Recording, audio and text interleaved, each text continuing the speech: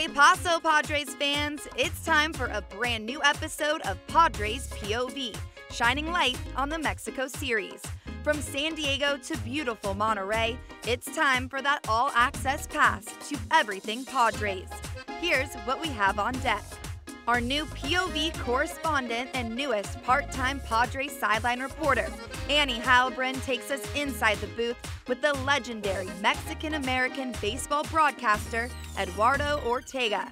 Plus, the Friar faithful will weigh in on the Padres playing in Monterrey and share why going international excites the baseball community.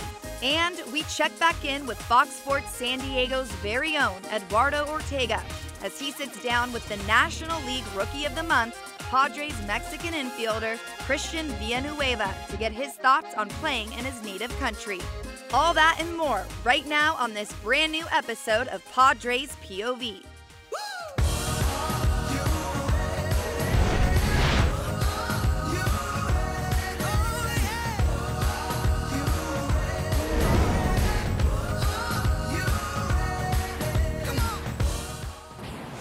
Everyone, I'm Lisa Lane. Thanks for tuning in to Padres POV.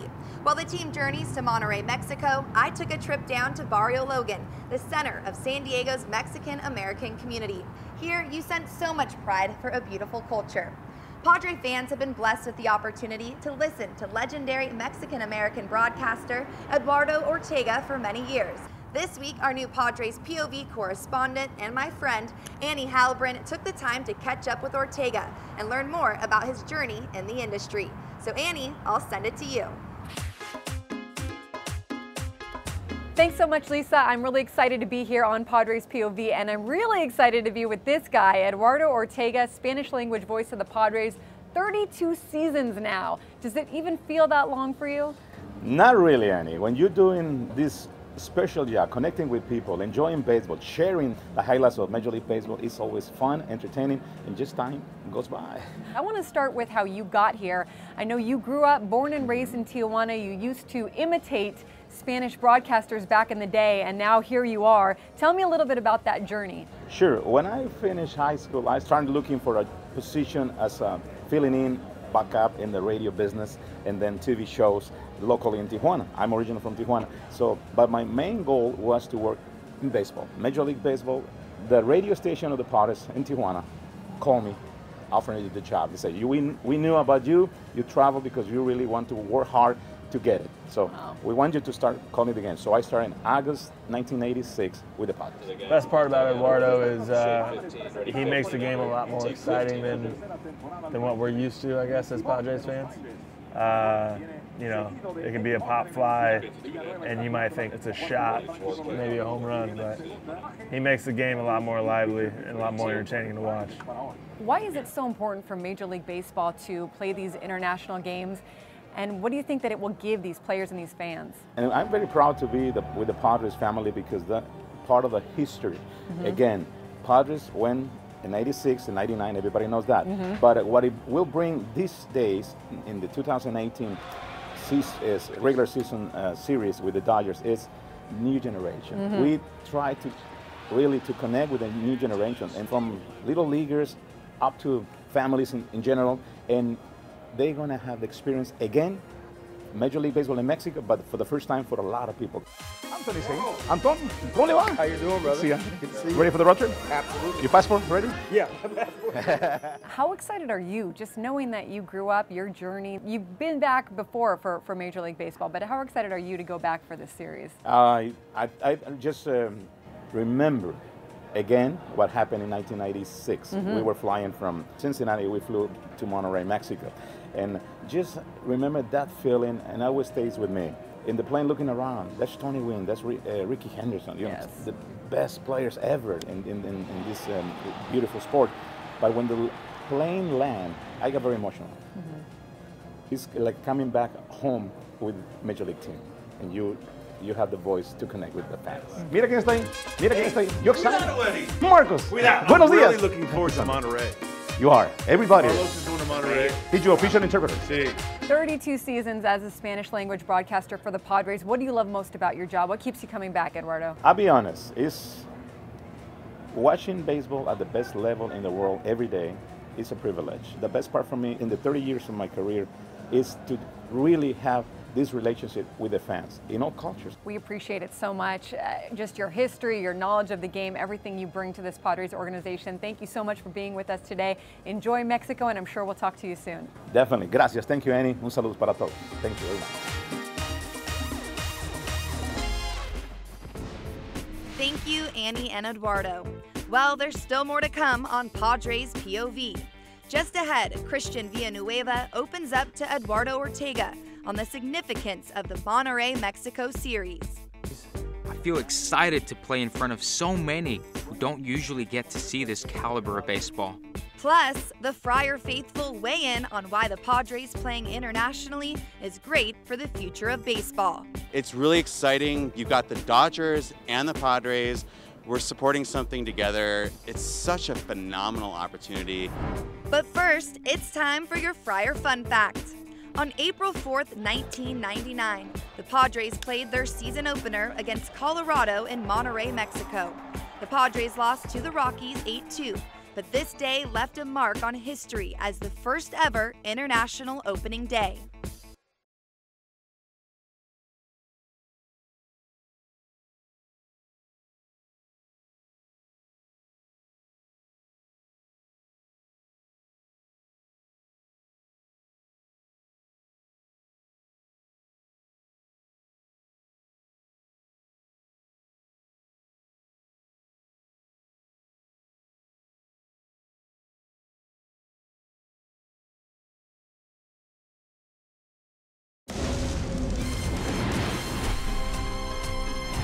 A strong fan base um, of Mexican descent, and people live in Mexico, people from Mexico that live in San Diego and Southern California. So it'll be exciting to play in front of a lot of those people. It's going to be loud. It's going to be a, a, good time, and I know a lot of guys are looking front, uh, looking forward to playing in front of those fans. Welcome back to Padres POV. I'm Lisa Lane, hanging out here at Chicano Park. This park is a National Historic Landmark here in San Diego, filled with tons of vibrant murals and creative sculptures. When you stand here, you're reminded that we all come from different backgrounds and cultures. In fact, when you look at our Padres team, you can see that diversity firsthand. So when the Padres move their home game across the border, it's no surprise you will find expressions of support from Friar fans. So the ball game's down in Monterrey. I think it's going to be amazing. I think it's kind of the same thing that happened with the NFL taking games overseas and just to different countries. I think it's going to be great for Major League Baseball. It's enormous, and to have the Padres and the Dodgers go and play, it's just huge. Baseball's a great game. It's an international game. Cuban, it's a Latin culture. You see the Latin game. It's, vibrant, and uh, you know, I, I, think it's great. It's great I think the more games played in more places is more better.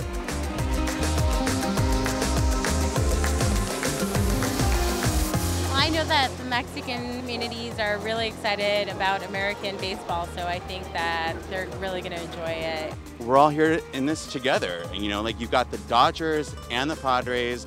We're supporting something together. It's huge. You know, it's uh, spreading the game to every nation until we have the best players in everywhere playing in Major League Baseball. I know when I was a little kid, I'm Mexican, so I know that when I was looking up to a lot of the players, I'm like, oh my gosh, like, hey, this is from Mexico, or just one of those things where you're like, wow, that, like my heritage comes from there, and now they're getting to play Major League Ball. Being a kid, to be able to see players like that up close and personal, I think would be really cool for them. It's good for fans of baseball. I mean, you see these players, they know where they're from, they might be from their area, and, and just to uh, be able to get a chance to go see them live, because it's not all of them come to the state to see a ball game, so it's, it's, it's good for that. I think it's cool that these, these kids can see if they just work hard at something, they can achieve whatever they want.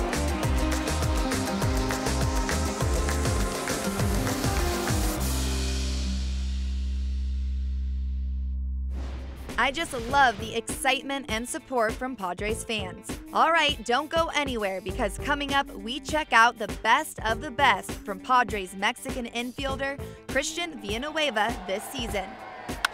Tapatío, ra, ra, ra. Plus, we have the exclusive interview between Eduardo Ortega and the National League Rookie of the Month. It's an honor for me. There's not many of us here. It means a lot to me, and finally, my dream is coming true. But first, let's test your knowledge with some Padres POV trivia. Since 1900, Major League Baseball has had its share of Mexican born players, including Padres infielder Christian Villanueva.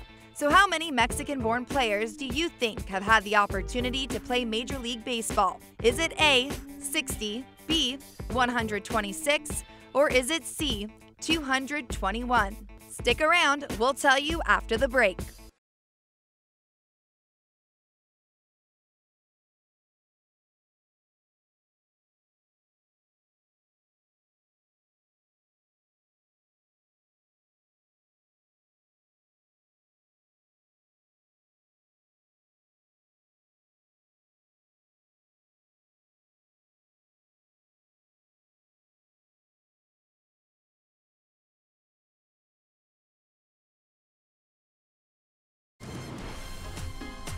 Anytime you can do that, you know, uh, you know, watch a big league game, it's always special. You know, I think everybody in here that went to big league games when they were younger, you know, thought the same thing.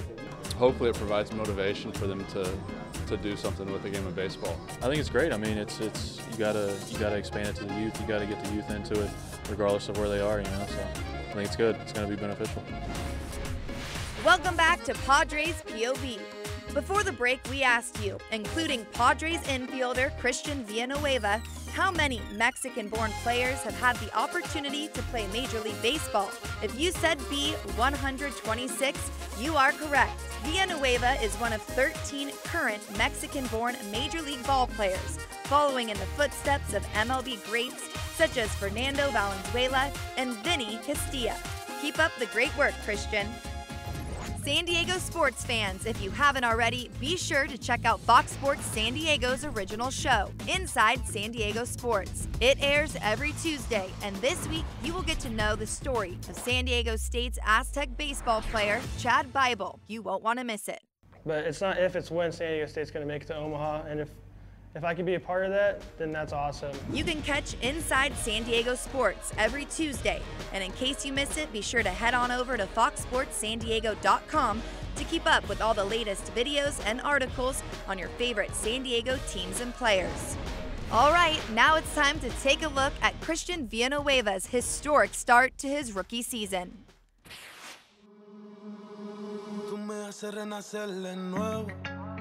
Desde la bronca. Lanza ya. Tapatío de línea por todo el left. La va a sacar. Se va, se va. Se fue.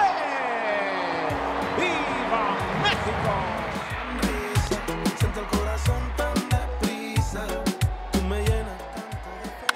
Tapatío, ra, ra, ra. Su primer hit de la campaña en las grandes ligas. Su primer opening day ha sido este. Bota la pelota altísimo el fly hasta el Western Metal Supply. 1 a 0 ganando los padres en el segundo inning.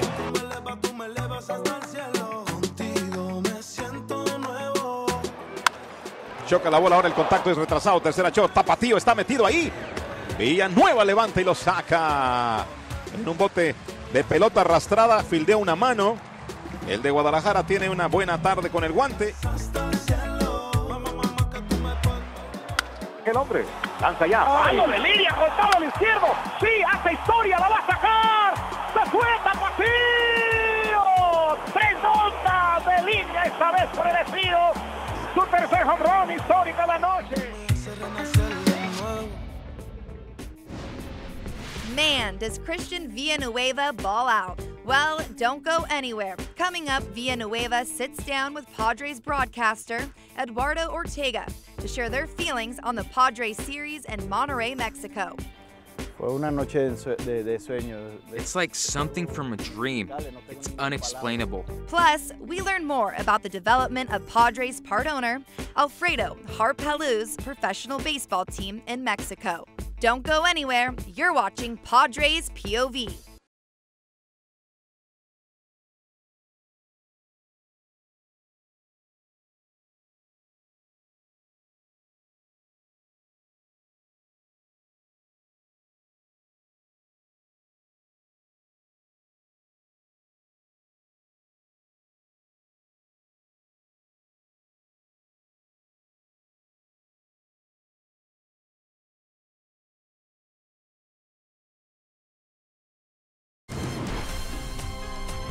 Just spreading the game overall. Um, it's obviously um, very beneficial for us as players and the players coming up. I think the more people involved with baseball, the better it'll be.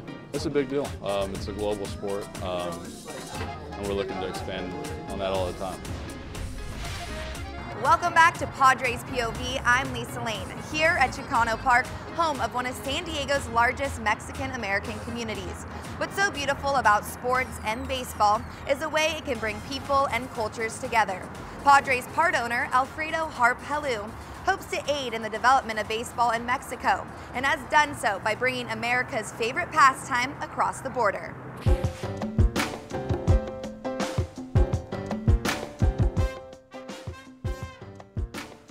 Opened in 2009, the Alfredo Harp Helú Baseball Academy is an oasis of baseball, art, and hope.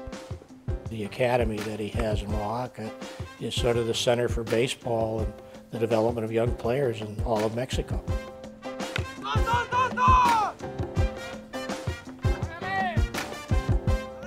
Here, up to 50 young men from all over Mexico live, play, and learn. Es una academia de alto rendimiento. It's an academy of high performance. If someone says, I want to learn baseball, sorry, this is not a school of baseball. This is an academy of high performance. And that's why our scouts are all around Mexico and we bring the best from the Republic.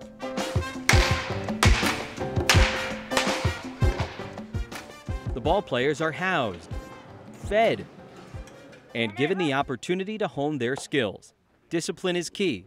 There are no baggy pants, no beards, and no long hair. For us, the player is an example for the children. Roughly 30 players per year move on from the academy to play professionally. 18 players have gone from here to play in America's major league systems. And eight players from here helped Alfredo's Red Devils win the 2014 championship. What does the future hold? One current project is the organization of the mayhem that is Oaxaca's historic archives. Another effort is the construction of a new stadium in Mexico City for the Red Devils. Alfredo and Maria Isabel are also investing time and money to help make Oaxaca's La Salle education system world class, from preschool through college. He firmly believes that the best way to love Mexico is to propel the education.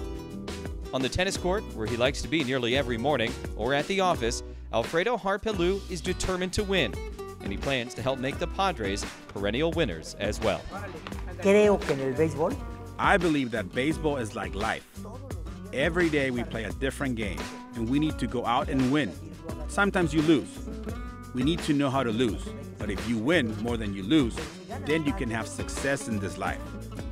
Alfredo Harp Helú, a true hero in Mexico and a winner whose passion has come to San Diego.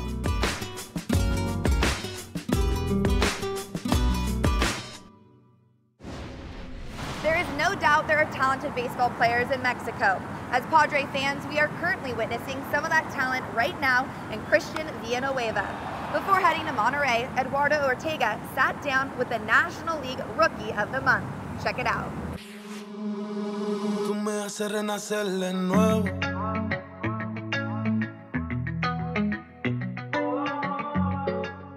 You just became the 126th Mexican born player in the major leagues in the whole history. This is talking about since 1930, the first one, Melo Almada. And now, in 2018, you're here. How does it mean to you? Para mí es un honor, a pesar de... It's an honor for me. There's not many of us here. It means a lot to me, and finally, my dream is coming true. Realizando mi sueño. We're talking about Christian long, long journey to make the major leagues. This is uh, obstacles you overcame, the Rangers experience when you signed with them, the Cubs, your broken leg. ¿Cómo te sobrepusiste y ahora la experiencia de estar en un diamante tan hermoso como es el Petco Park? Sí, este, fueron experiencias que pues Dios sabe por qué. It's an experience that only God knows why He put it there. I never laid my head down, and my family was always there for me. I never gave up, and I'm giving it my all now that I'm here. I'm appreciative of the San Diego Padres for the opportunity they have given me. Que, que me están dando, ¿no? Let's go back to this wonderful night when Christian hit the three bombs. It's only the seventh player, eight time, the Padres have this great experience. Fue una noche de, sue- de, de sueño. It's like something from a dream. It's unexplainable. I had mentioned to Pirela the day before that I had a dream that I would hit three home runs. The first one came fast, and everyone was cheering me on. And then I hit the second, and he tells me, I know you're going to get the third. And there's a photo where he is hugging me. It had all started with that hug. It was a special moment for sure. And, well, I was able to get the third home run. Pegar los tres home runs, ¿no? In the air to deep left field. For the third time tonight, Villanueva's hit it out of the yard.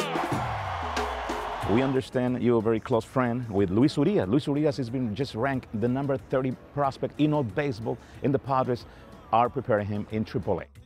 Es un, es un eh, le, le digo niño porque pues es, mi, Luis mi Urias, I call him kid because he's like my little brother.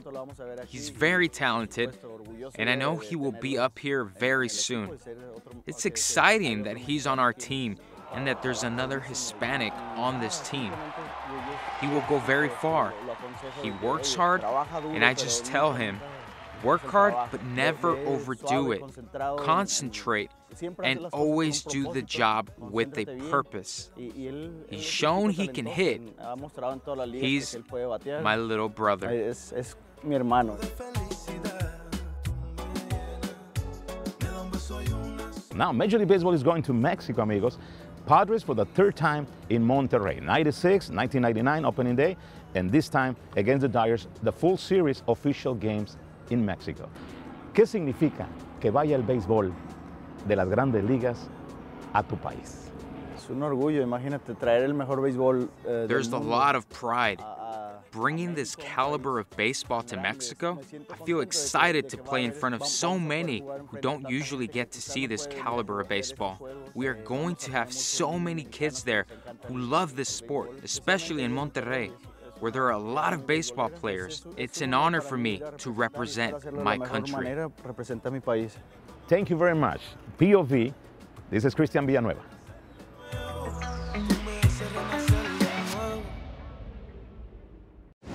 Well, that does it for this week's episode of Padres POV. Thank you so much for tuning in. From Chicano Park, I'm Lisa Lane. Cue that rollout. Sometimes wind is good, like to get the Beyonce flow going. This is uh, illegal on TV, dog. One of San Diego's largest, we're done, you said?